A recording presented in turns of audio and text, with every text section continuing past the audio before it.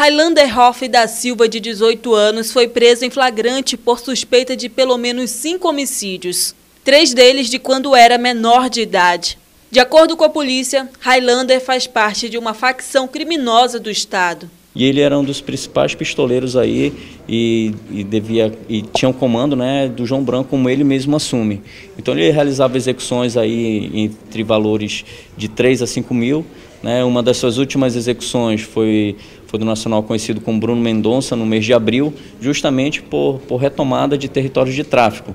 No momento da prisão, Highlander estava com uma arma de fogo. Conseguimos fazer um cerco nesse campo de futebol e ele não teve condições de fugir. Né? Então foi por esse motivo que, que ele, nós conseguimos fazer a prisão do, do, do Highlander, né? que é um, um, pistoleiro, já tem para mais de três homicídios. O suspeito foi autuado em flagrante por porte ilegal de arma de fogo e indiciado por homicídio.